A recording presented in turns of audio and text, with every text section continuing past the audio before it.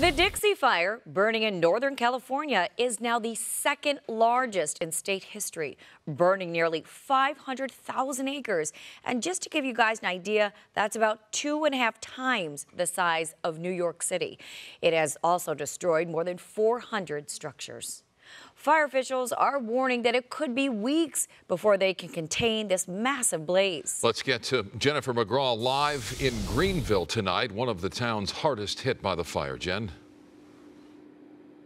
Mike and MB, this town has been around since the gold rush. So you can imagine this fire was so fast and so hot, this town really just didn't stand a chance. Here we're at the Greenville Library. We only know that because that has a sign on it. Many of these buildings don't have signs. We have the pizza place to the left. To the left of that, then you also have a towing company, doctor's offices, and behind all of those businesses are dozens and hundreds of homes, hundreds of homes that were destroyed. And when you talk about it being weeks before this fire can even be put out, is because off in the distance, the smoke is creeping up, the fire's creeping up over the hill, and firefighters have a certain huge battle to fight. The damage is incomprehensible as the Dixie Fire continues to ravage communities. Hundreds of homes and structures destroyed, and more than 15,000 are being threatened. One of these days, a fire's going to come over the ridge. And from where I live, it moved so fast. I saw it all. Mike Orloff watched above the bluff as his city burned to the ground, one building after another. All my friends, his new home, handicapped, all set up, just burned to the ground. He's praying for the other communities in the fire's path. What are they going to come back to? Where are they going to go? Where are they going to go? By Monday, the thick smoke holding down winds and temperatures finally cleared, allowing for firefighters to continue the battle in the air, making water and retardant drops to contain what's now the second largest wildfire in California history. Putting that into perspective, it's now larger than the city of Los Angeles. That's 500 square miles.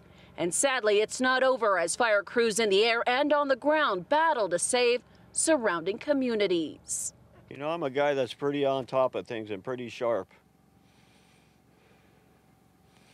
But this is just beyond comprehension. What's this going to be like in a month?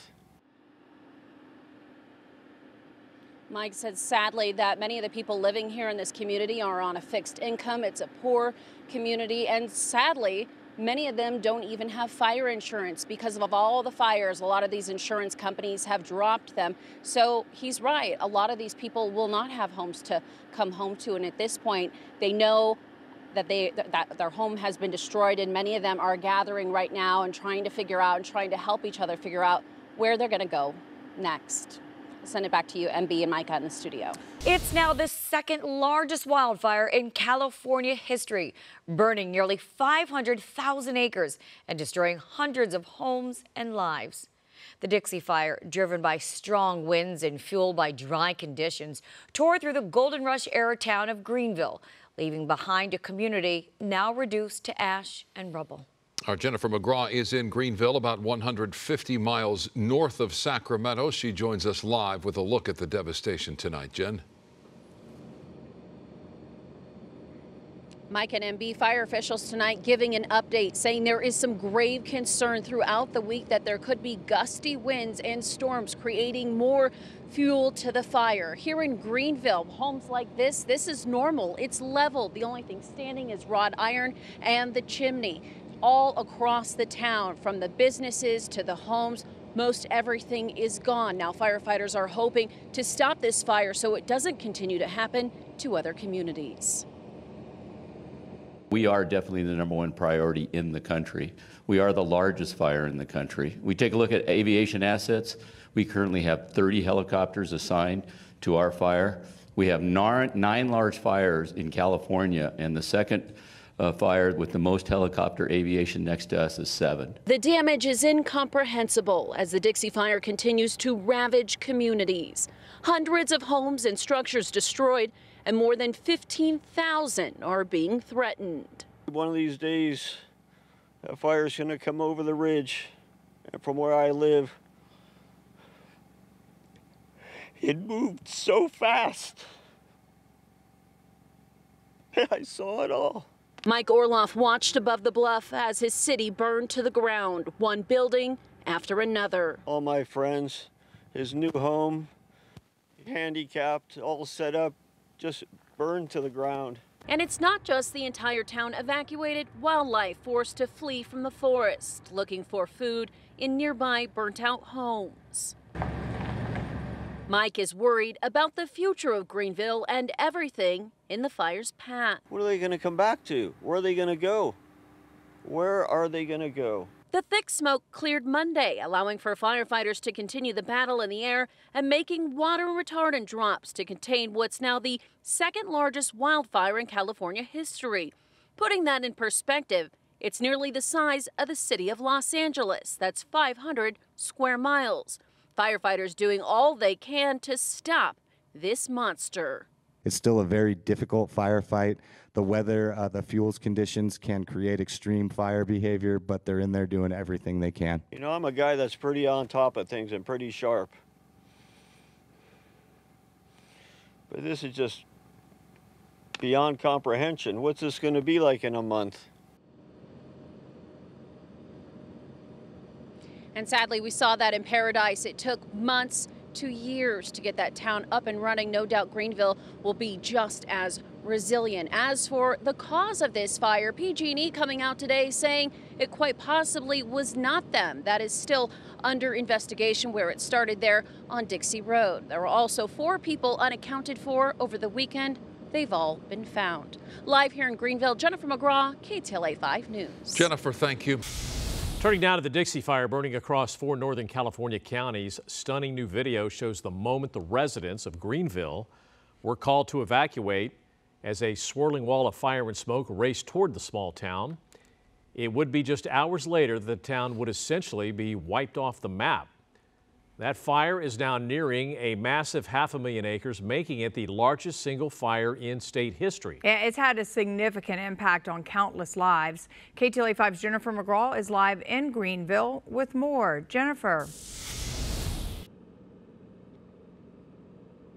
Lou and Glenn, we've been out here for two days and we've been talking to those people with their heartbreaking stories, whether they lost their business, their home, so much, or just their entire town. And the problem is it's heating up and the conditions are getting worse. If you take a look up in those hills over there, there's a lot of smoke and that's grounding about 30 tankers and helicopters that could be helping the fire uh, fight.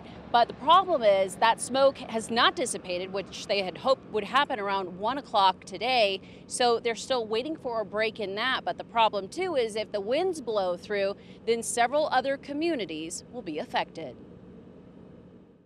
With fire burning all around these mountain communities, thousands have been forced to flee from their homes, and for some, it's been weeks. I still have my homes, but a lot of these people have nothing now. A lot of these people have kids, and you can't help but cry when you hear the stories. You try to be strong. Deborah Spikers considers herself lucky so far. She has her two poodles in tow, a full tank of gas, and a place to stay at the Red Cross. They're my family. So I knew whatever it was going to take, they would be with me. With thousands of evacuees, Deborah says people are becoming desperate. You couldn't get a motel here or a hotel all the way even Reno is totally booked. You you there's nowhere to stay. Thankfully, the Red Cross has been able to help hundreds, giving them springs of hope. I think the worst part of it is the uncertainty, right? When you first get evacuated, you don't know if your home is gone, you don't know if your livestock is okay. For now, it's a waiting game to see if the smoke will clear and which way the wind will blow, which could wipe out entire communities. The whole thing has been heart wrenching, sad, something that uh, you have to experience what it is, but you become so appreciative of even the little things you have.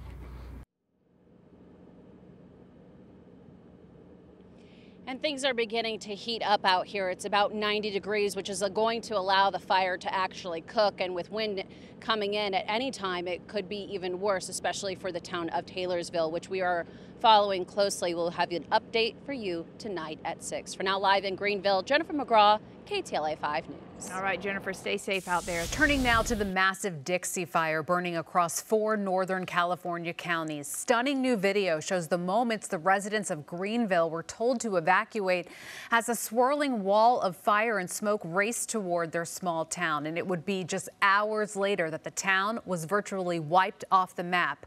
And now those living in nearby communities are worried they could be next. KTLA's Jennifer McGraw is in Greenville, about 150 miles north of Sacramento. She joins us live with a look at the devastation. Jenn.